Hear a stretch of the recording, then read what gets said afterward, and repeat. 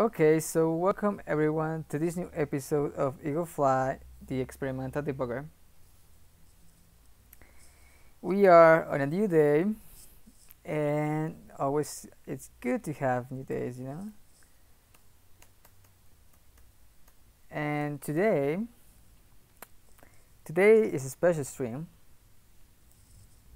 because let me explain you.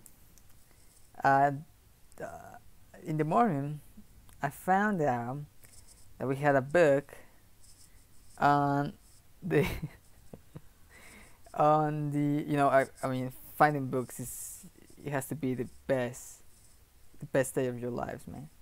That, that's that how that's how it goes man. That's the programmer's day. I mean if you find a book man you mean happy birthday though. Happy birthday.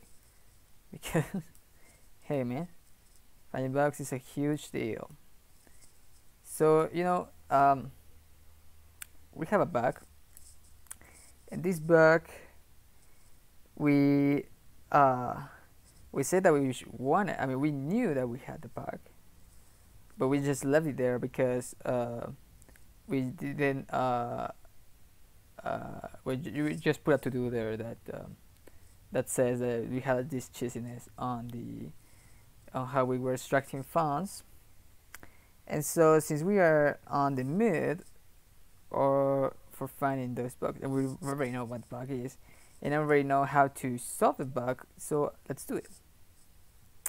Alright so we'll open 4coder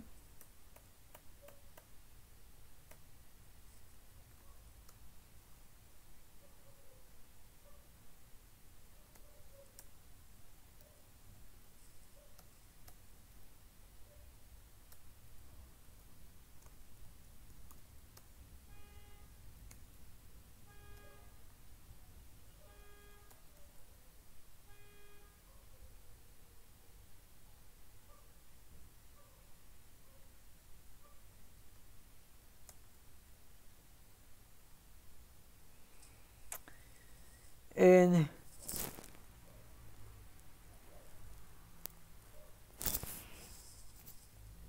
I'm sorry.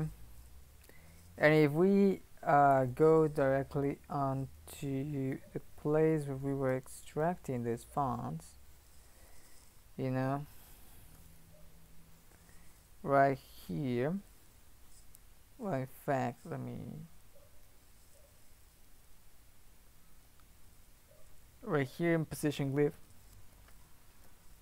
We did this we have this to do that. We have this chasiness of um, that we I mean we we use the offsets to position the the bitmap but that's not correct the correct thing if we go to Mr. Schomburg's library uh, STB TrueType, we're gonna see exactly here. Let me show you. We have, uh, yeah, here. I mean, th th there's a way specifically that they didn't take care about, that we didn't read, and it's that uh, we have to position the characters based on a specific formula. And the formula is this one. Hold hold me a second let me charge put the charger on the computer. Oh Jesus Christ. There you go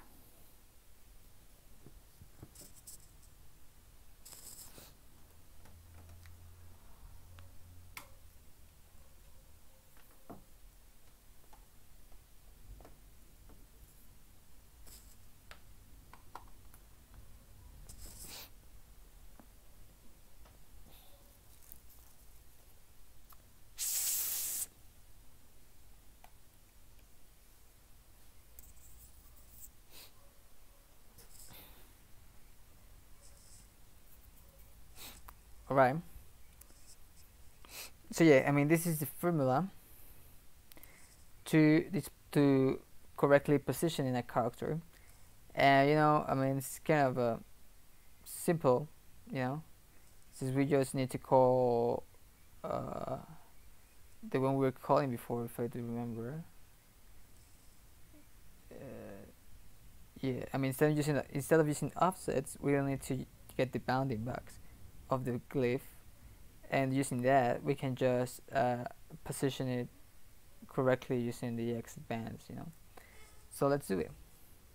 So let me uh, go back to the place where we were extracting the font if I remember was this. Oh yes so what I like to do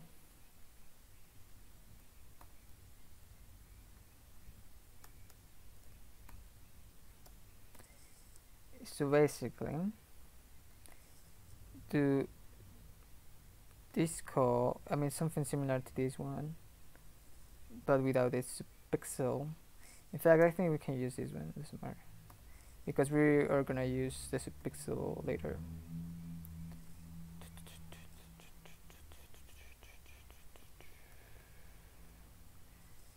And then pass the parameters and basically these are the x0 y0 and all that stuff that we really need. Because this is the bounding box for the bitmap not for the the glyph but it's gonna work yeah, either. So we got that. And later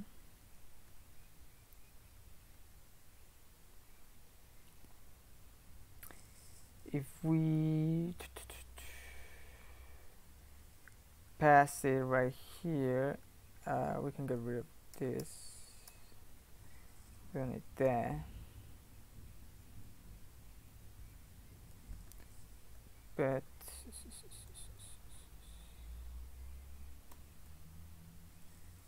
we need this.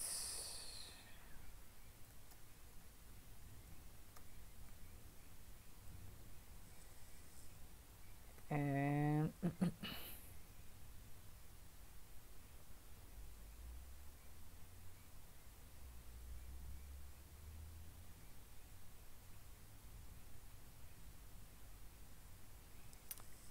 is correct. Now the only thing let me compile let me add here the possibilities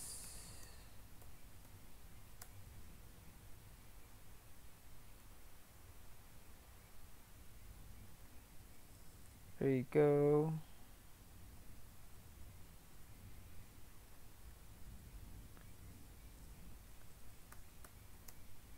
And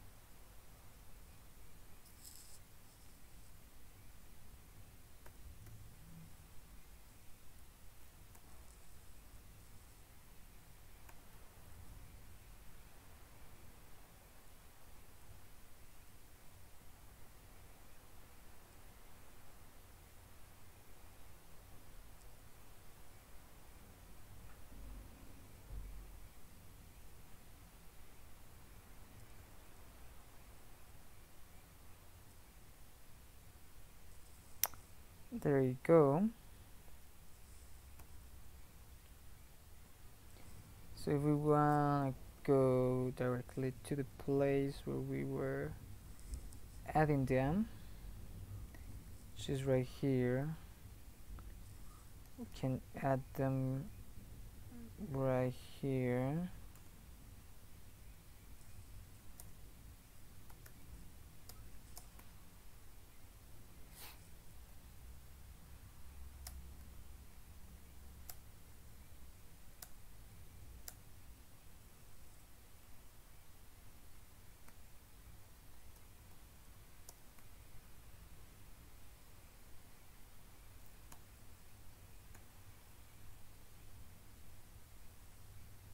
no sorry this is not the place. It's here.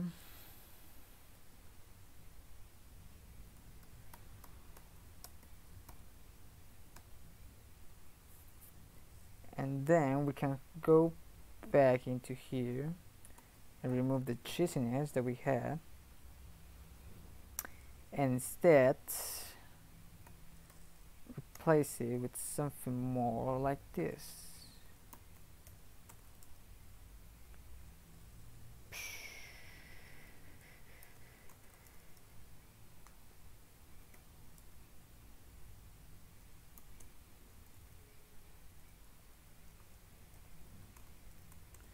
You know this is important because um, if you remember we were uh, uh, translating the fonts you know because we were doing something let me open how is called this? Where is Milton? Mr. Milton.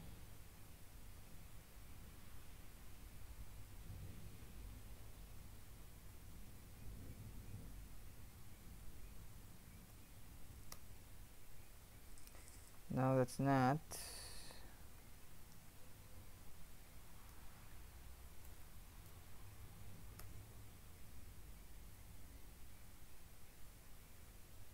whoa whoa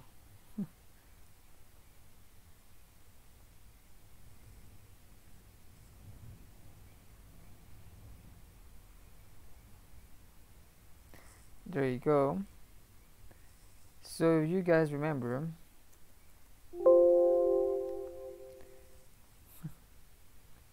yeah, I, you know, I found a way to make Milton. I mean, it's so buggy, man. But oh Jesus Christ, I cannot. Ah, yeah. Uh, yeah. I mean, I can move it now however I want. Remember that I couldn't because Milton is just so buggy, and you know now I can because there's. I mean, there's kind of this cheesy thing that you should press all space I mean, you press space, you, you go back to drawing. That's normal, you know. But you press space back, you cannot, you know. You just it doesn't work, you know. It's supposed to be, but it doesn't. But the thing is that if you press Alt space, the command it it happens to work, you know. It's something uh, something has to be locked there. Or some, I mean, something Milton it's not processing. But if I press the the the control command L space, then voila, I can move the canvas. And you know, it's something, I mean, probably something with the, with how Milton process uh, virtual commands or process input itself, you know, which is busted. Yeah. So yeah. But you know, I mean, well, I have to tell Mr. Milton to solve his problem. Okay, so now what I was gonna say is that you know if you remember uh, oh just let me do it better.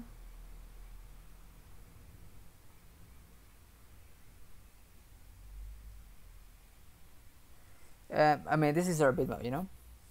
And this is the mono bitmap. And the mono but as you remember we were like flipping it out you know flipping it vertically because the way that uh, the way that uh, STB TrueType works with fonts is it works from the top down but we work from the bottom top you know? And that's the reason that we had to make the flip. So if we were like you know this is the Y in STB TrueType bitmap we have to change it to this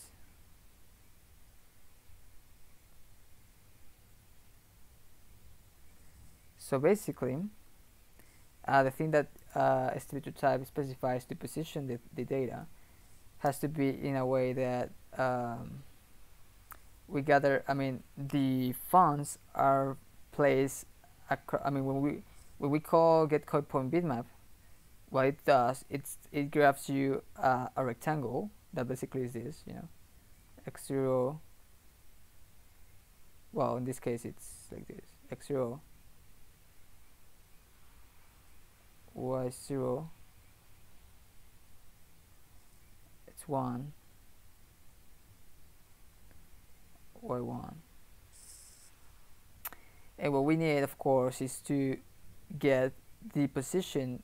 Now that we flipped we have to uh, make sense of these coordinates that uh, STB TrueType gets us you know?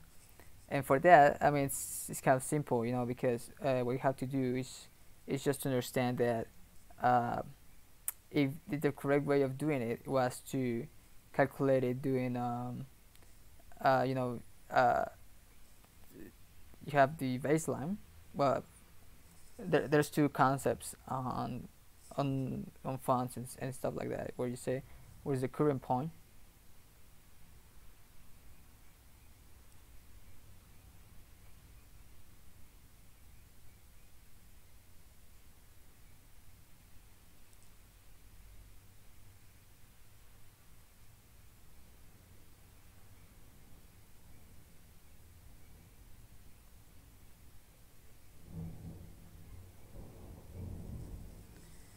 the current point just details the x uh, the x movement.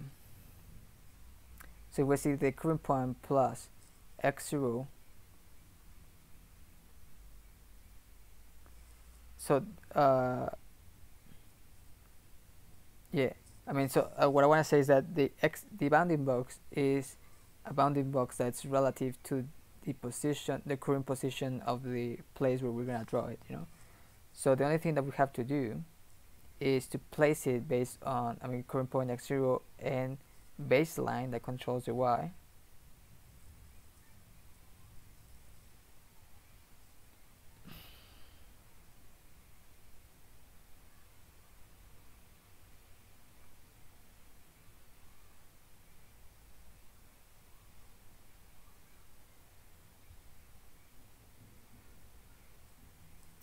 and that's all she said. But yeah we, ha we have this caveat that the baseline is gonna be something like here you know for the y or probably something bigger but imagine that's there. And this is the baseline but the baseline is from relative to this you know? It's going like this way. And it has a sign value so it's gonna be negative. And the x0 probably it's okay because we don't flip on that uh, on that coordinate so it's it's the same. Uh, so the only thing that we have to take care about is the y0 because now we have flipped. So now it's gonna be incorrect. And since our x0 is here for ourselves well for I mean here's the current point you know? Well we have to make sense. Here's the current point current point we have to make sense to set the position that we have to advance uh, based on what I can say um, should be the opposite, you know, and the opposite should be uh, something like um, current point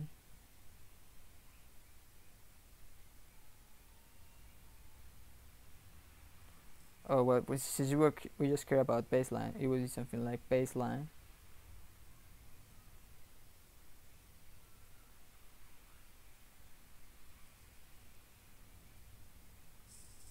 Should be let me think about it. Should be uh,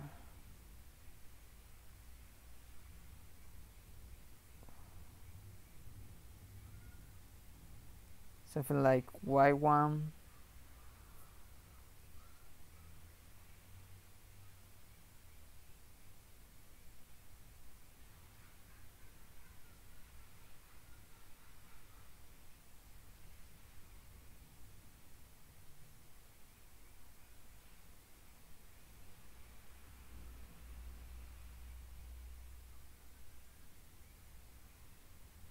So uh, well before solving it I want to just show you the the thing. I mean we compute a current point plus x0 as it says there we do something like this you know uh, plus uh, glyph x0 and then we would stay at y plus glyph y0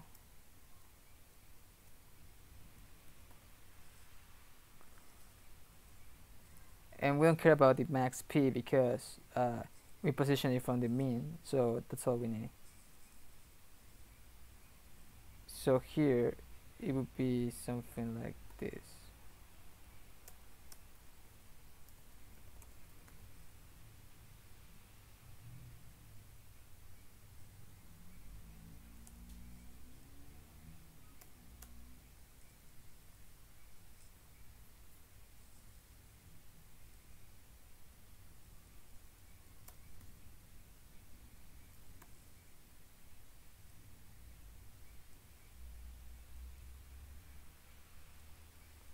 so let's see what we got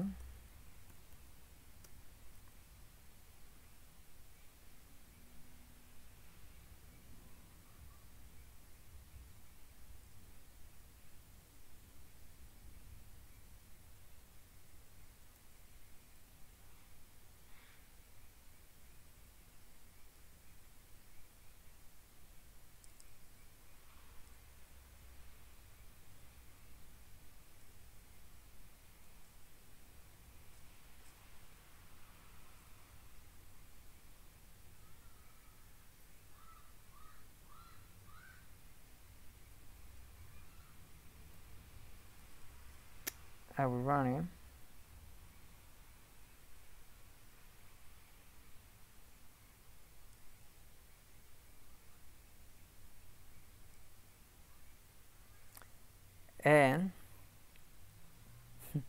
as you can see now we have I mean they are look I mean they are all busted but uh, if you see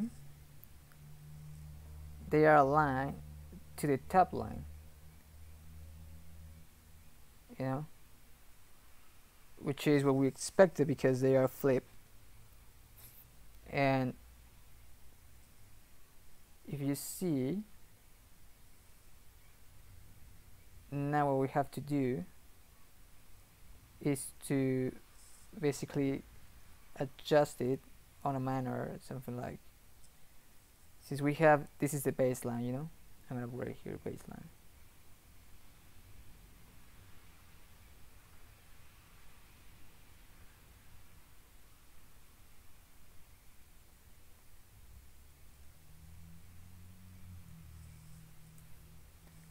And the way they move is that I mean the, the thing that they align is to the baseline because that's what we tell them to do.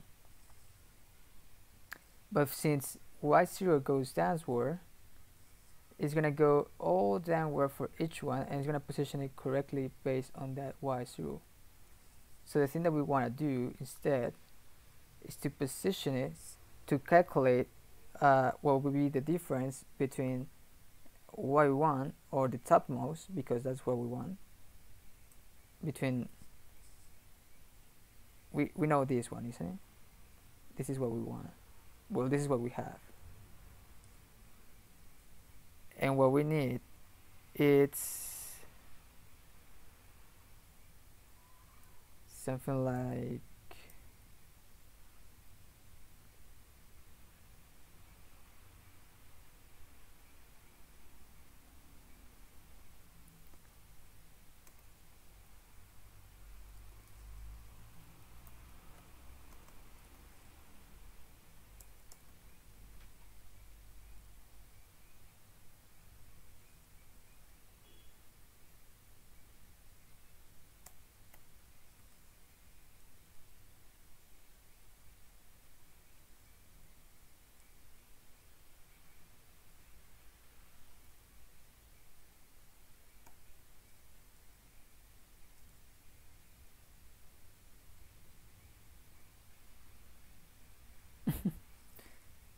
probably that was not oh no no sorry.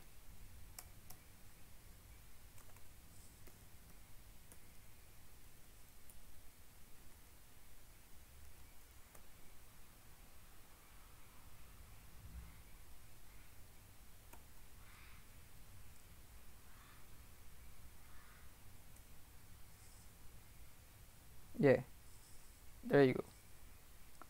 So basically it was just the reasoning about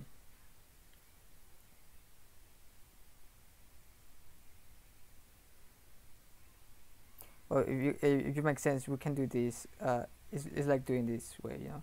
If we have leave y one minus that but we want the negative of that which is the same you know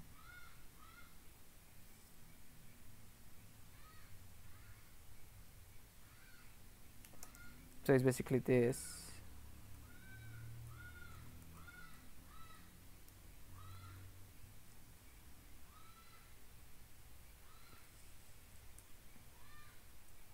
Because since we know that this goes positive but we want it's it's negative because we have it uh, we want it's negative because that's what we want to move uh, downwards you know if that makes sense. I mean we want we want uh, this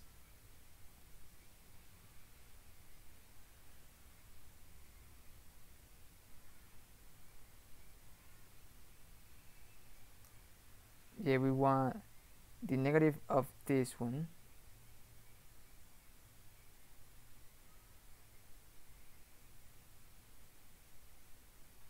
well basically we want this one you see. And that's how we made it. And now that you can see basically the choosiness goes back goes goes out and we don't need to do it anymore because now it's all good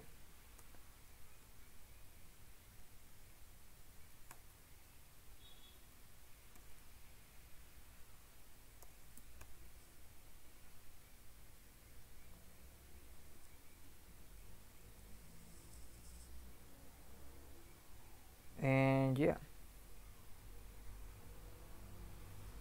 there you go.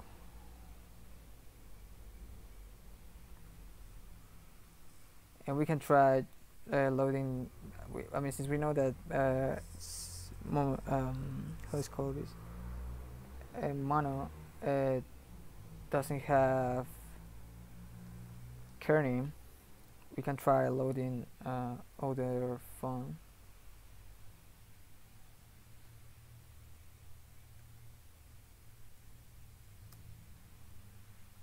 Liberation Mono doesn't have that font uh, or a lot of yeah doesn't have any kerning so we can try doing this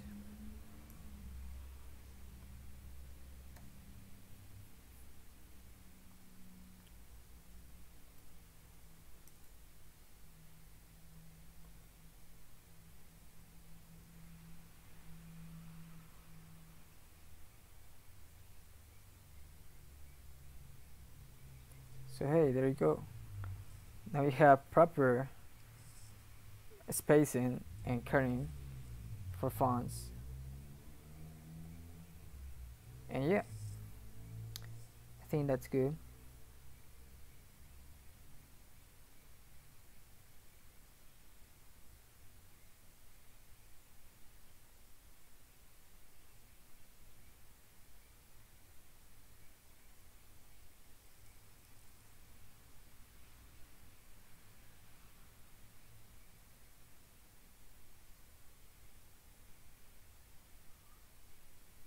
you can see the O inside the T and the the Y going down which is fine. The, the, the I now it doesn't it uh, it's properly spaced between I and W so they are really really close together and that's nice. They're like they align really good yeah they feel like compact you know um, like a packet. Before we have like an R problem which now it's really really packet which is good.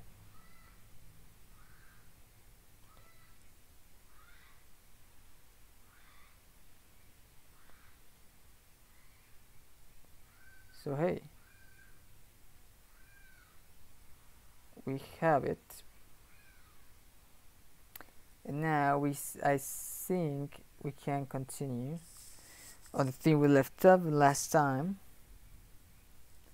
that we were trying we were like uh, making our research you know which I think is good because uh, that's the whole point.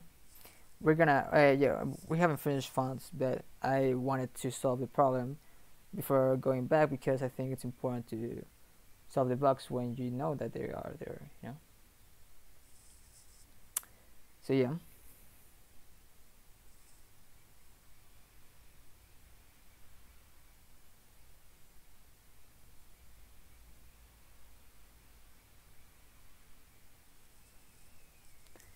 Alright, so let's go back onto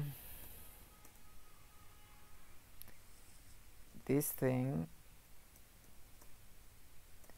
I believe we got it here and we were taking a look at this uh, Microsoft's press store thing where he puts actually I don't know why but uh, I mean this this kind of uh, file it's more more descriptive about what what's going on inside you know the internals rather than I mean the web page is just so uh, it's just so wanky, you know. It doesn't tell you everything that you need to know, or at least I mean, doesn't go into details. So it's more like a summary to the things that happen internally, which is not what we need. So yeah, you know. So good to have these things. Thank you, Mr. Microsoft.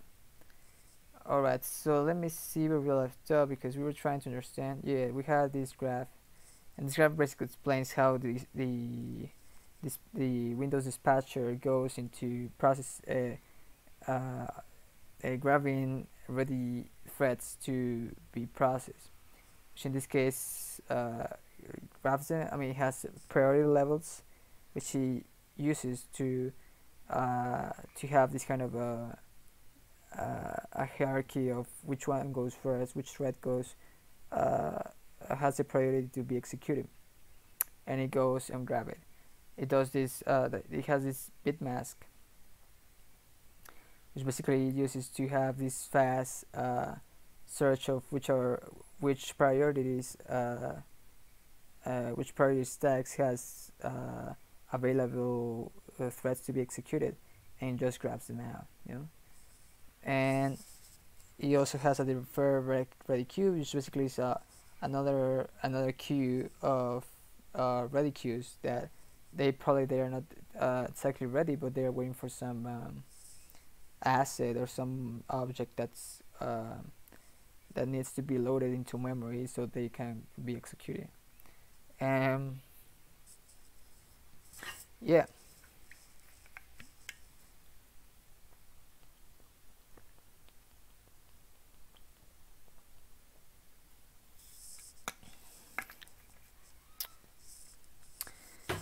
so now I would like to see if we need if we can continue with this you know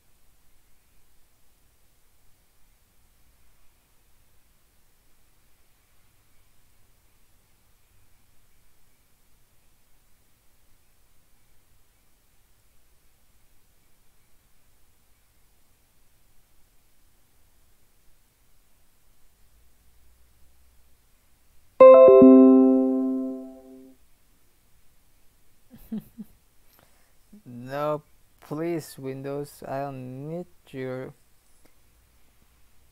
updates right now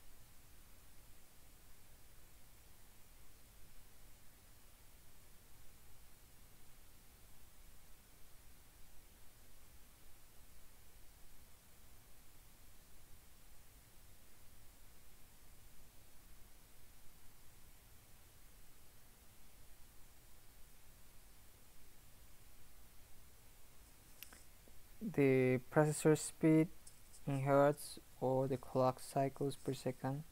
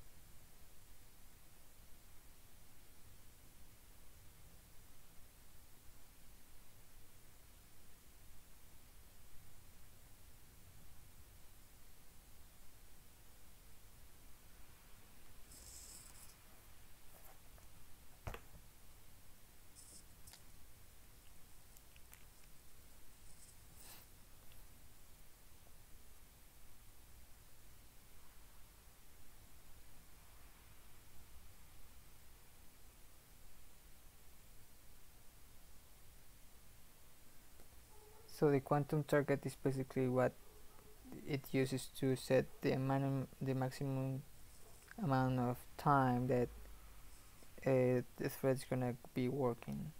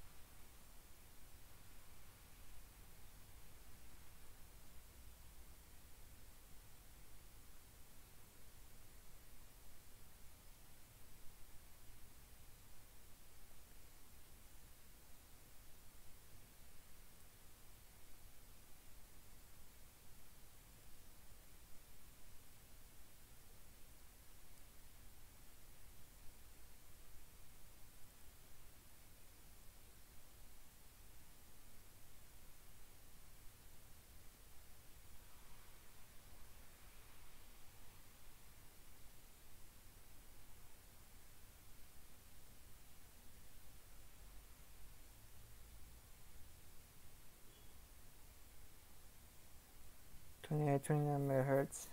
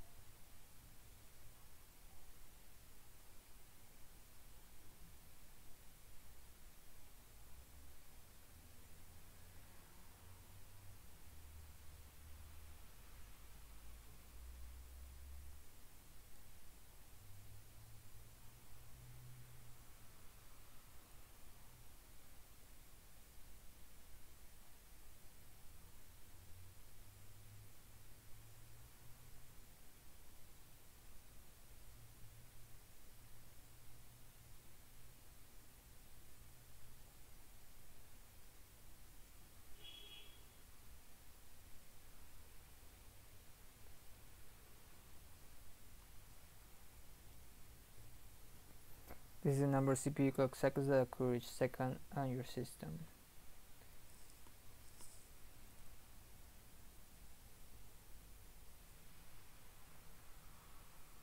Okay, but it's it's oh because it's yeah they are here. It's not their bits. Yeah, there's a confusion there. So yeah, that's correct.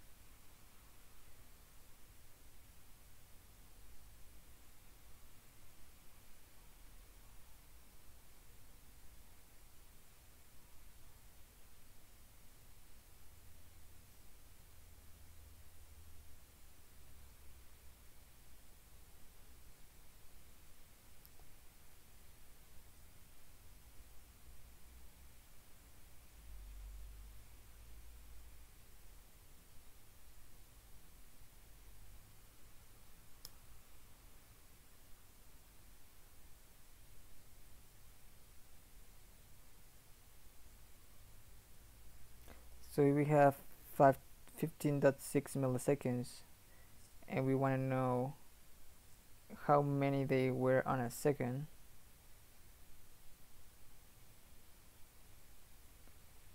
So we will have something like this.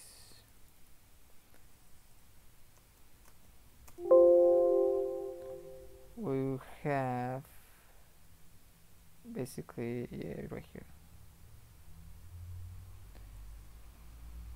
uh, we have 15 point oh.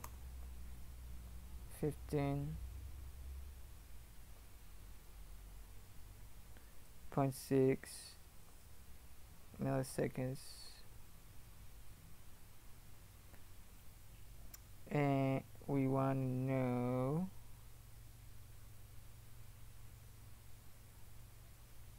we know that in a second they are a thousand.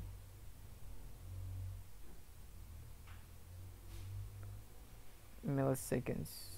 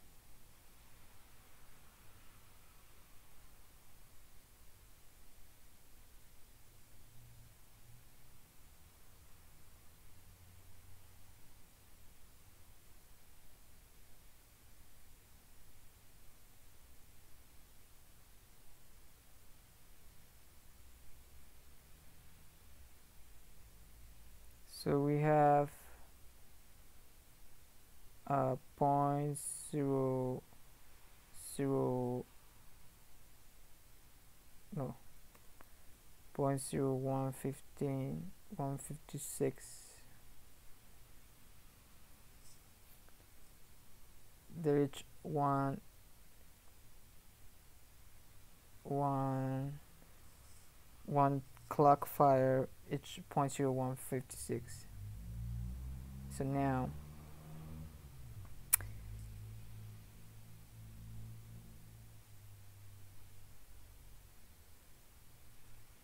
how many they are in a second. So it's basically one over there isn't it so with the EBB I don't know how it's that much but let me see.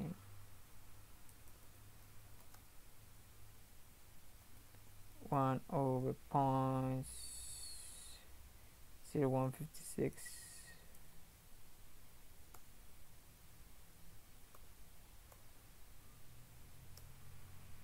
64 10 25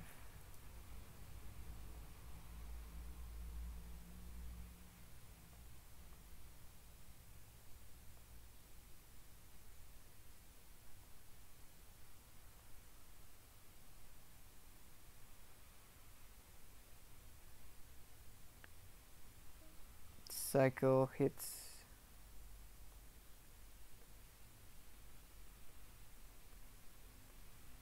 cycle intervals I would say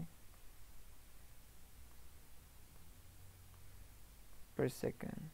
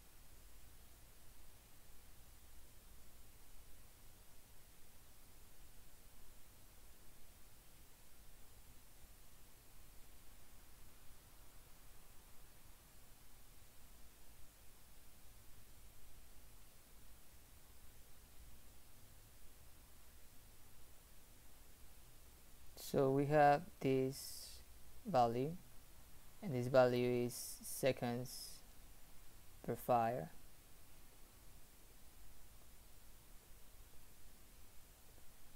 And we have the value that we had before that's cycles per second.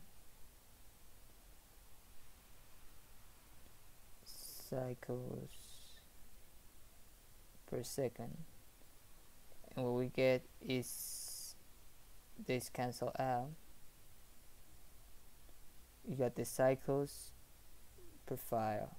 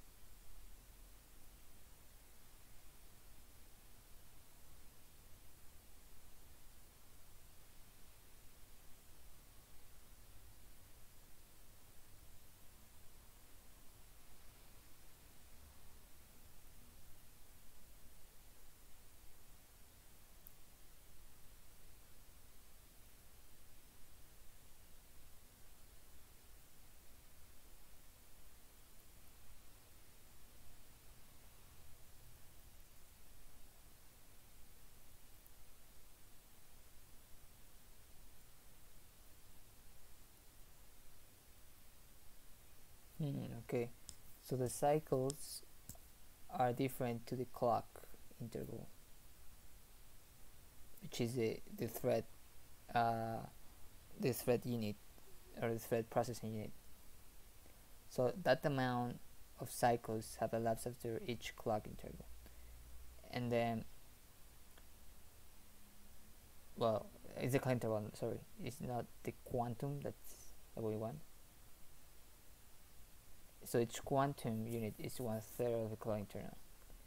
So divide the number of cycles by 3, this gives us 14,710,894 or the number. This is the number of clock cycles each quantum unit should take on a system running on a 28, 29 megahertz with a clock interval of around 15 milliseconds.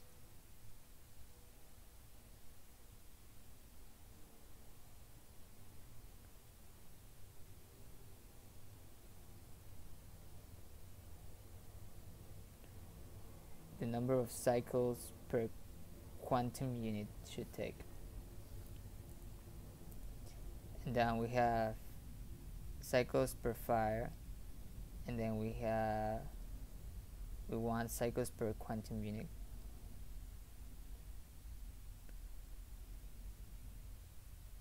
Uh, I want to say Q U. And we know the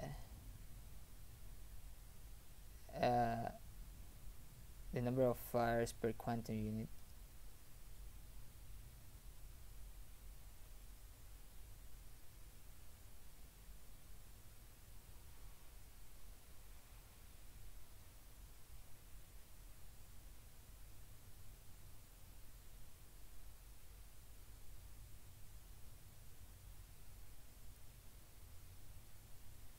Or no sorry the number of quantum units per fire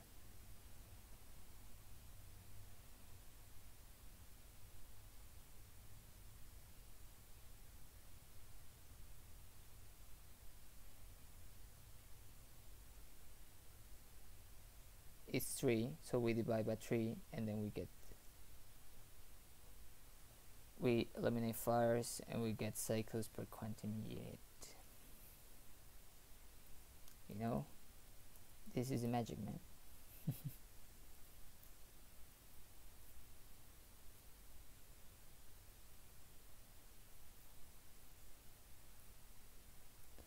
So they are basically two types. They are two two clock ticks for for clients and 12 clock ticks for server systems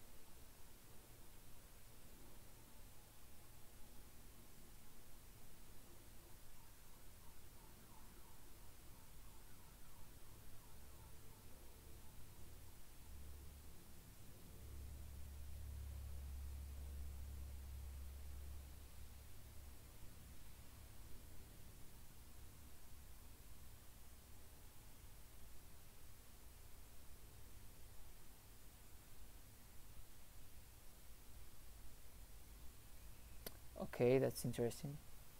When a window is brought into the foreground in a client system, all the threads in the process contain the thread that owns the foreground window.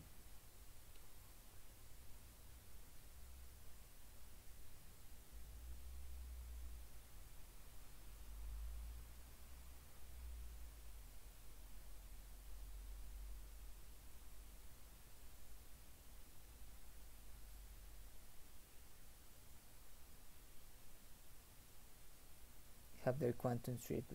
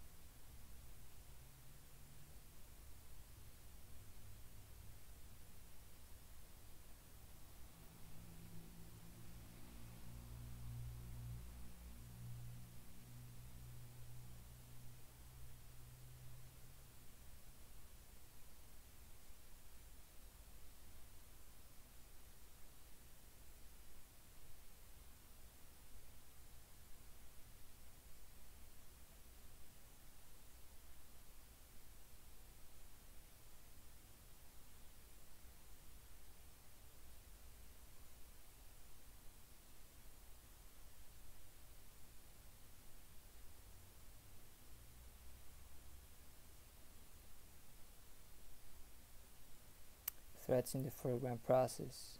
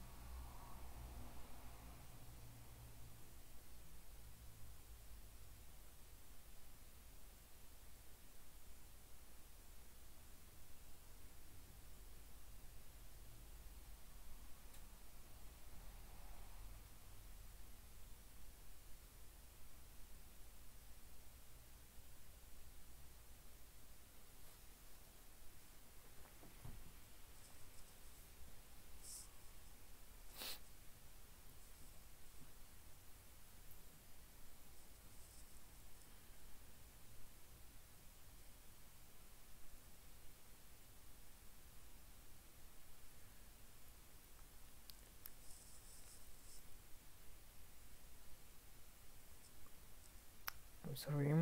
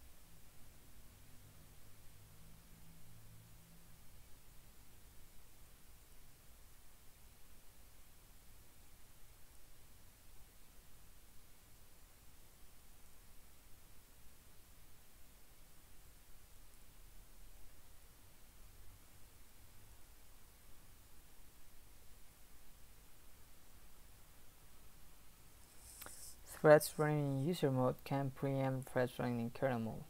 The mode in which the thread is running doesn't matter.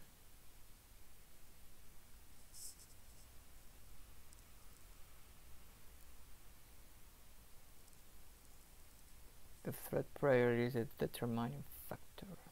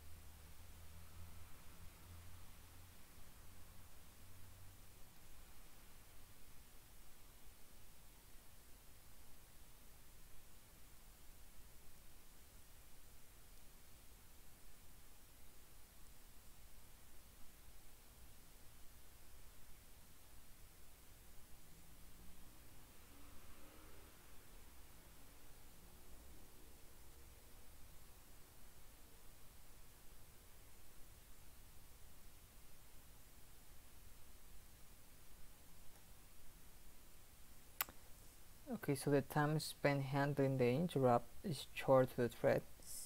Yeah, that makes sense because it's on the thread's process. And it's something that's processing, you know? So it's gonna be time that's gonna last for the quantum.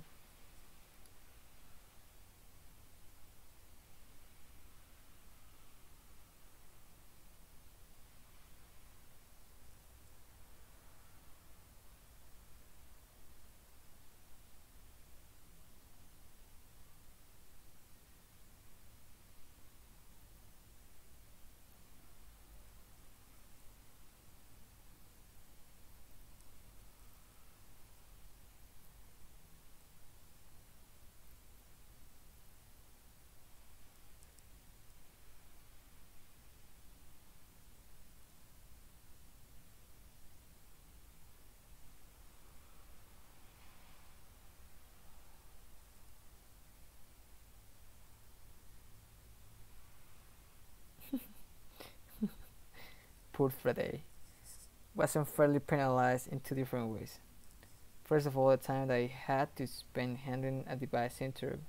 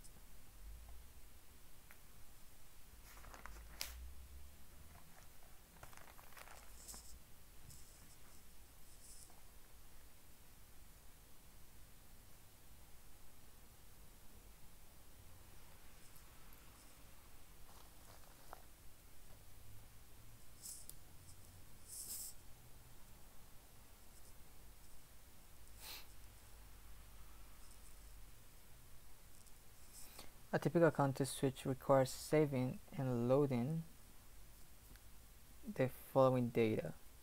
The instruction pointer where it stayed last time, the kernel stack pointer pointed to the address space in which it runs.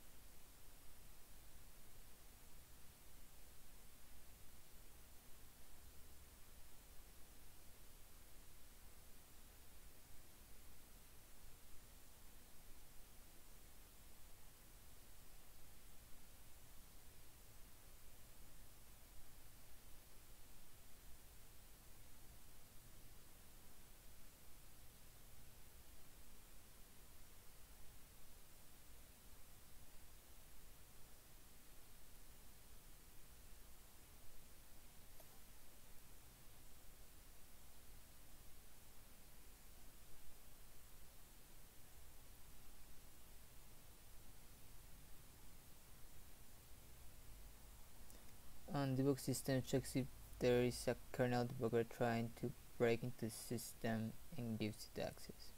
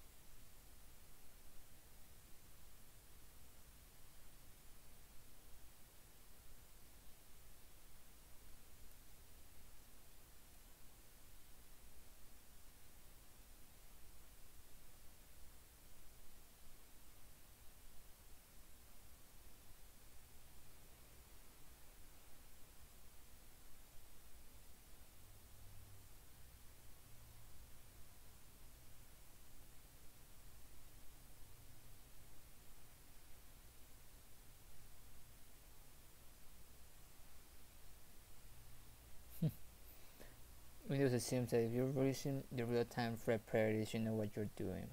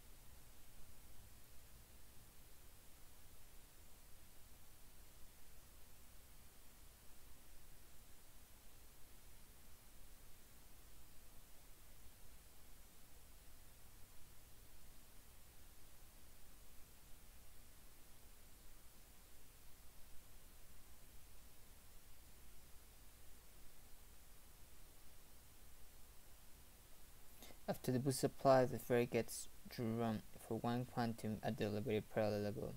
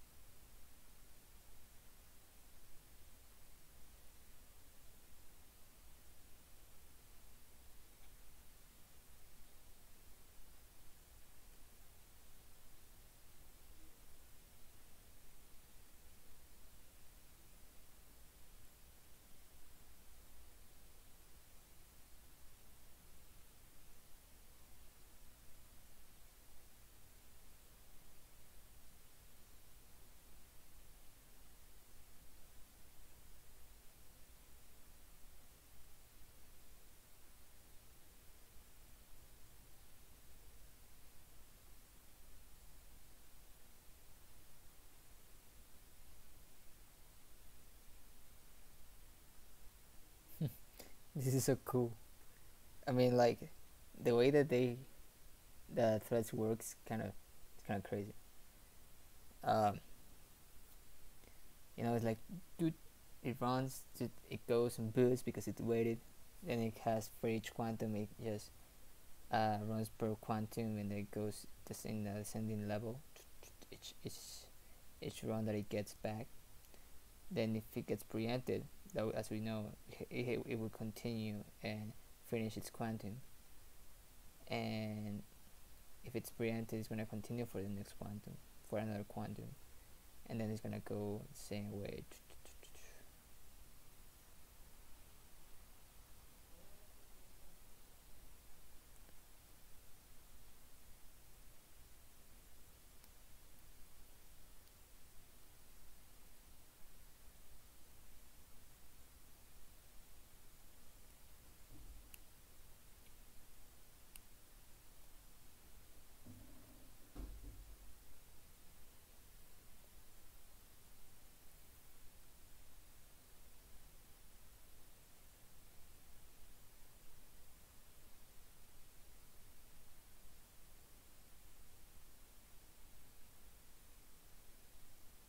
Hmm.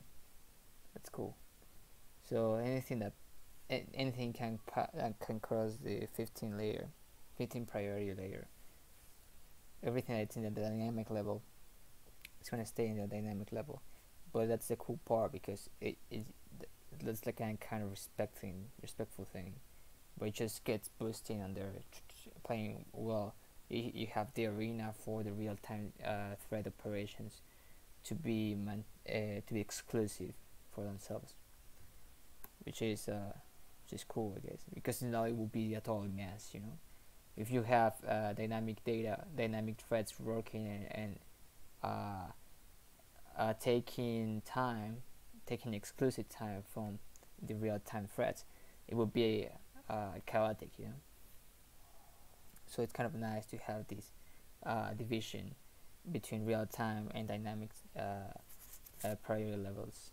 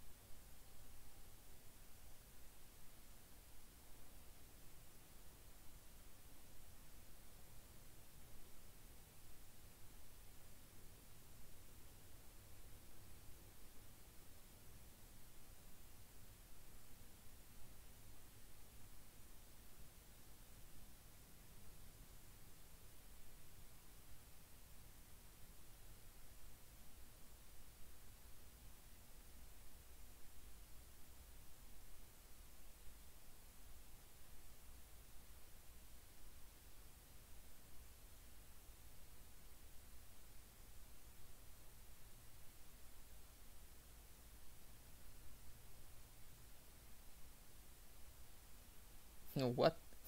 They say they say that the boost was to the current priority, isn't it?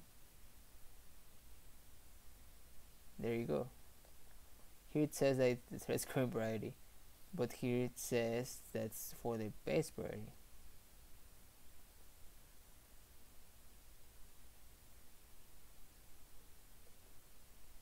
So what's going on there? Because you, you think here, I mean, the grammar says that uh, it's applied to the base priority, you know? So, yeah, that's kind of busted.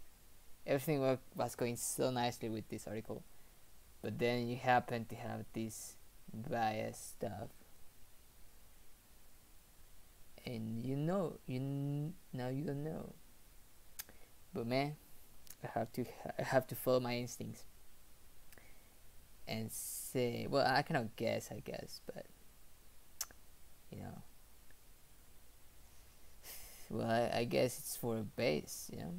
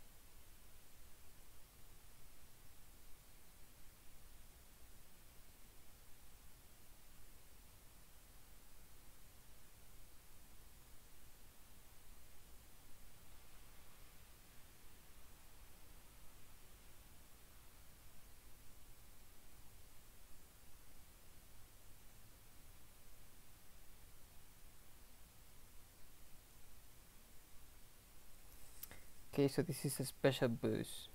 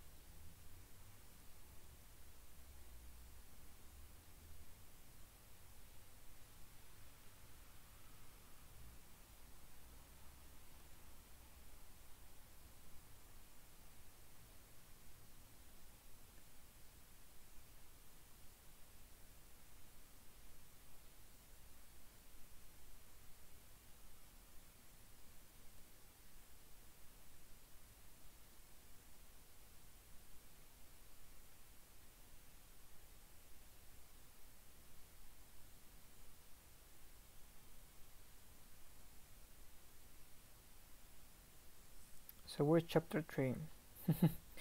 Where is chapter 3?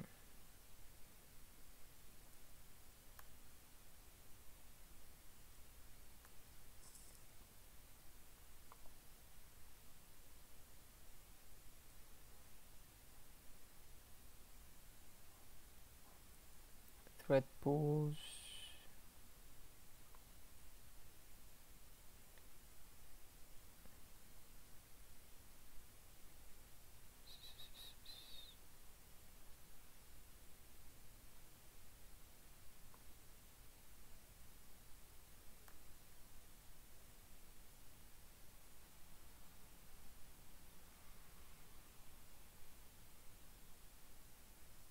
okay so this is all we are missing here's all the things that we that we're talking about we didn't understand okay so the data structures inside the thread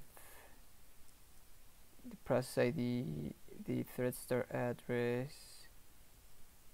and the case thread table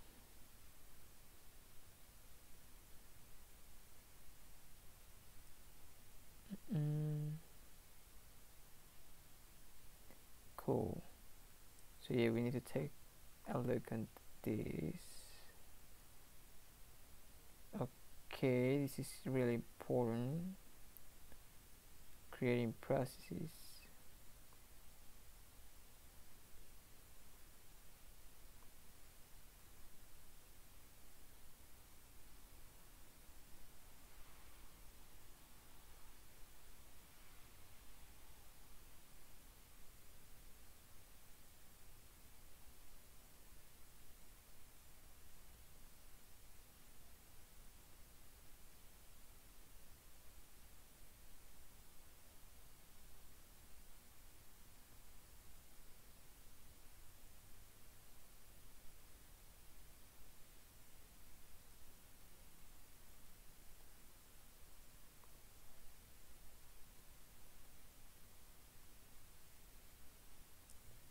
protect the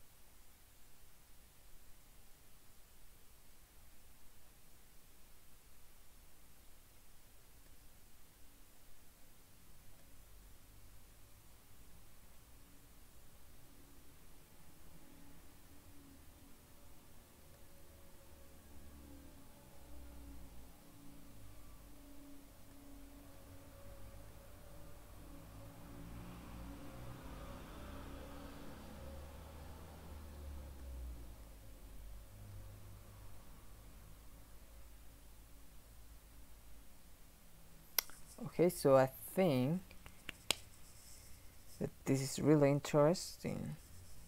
We're getting into well we should start from here I guess. I didn't see that it was the starting point. Let me uh, duplicate this stuff. I just want to take a look of the overview of the whole thing you know because it has a lot of stuff. And this is just like a this is a whole book you see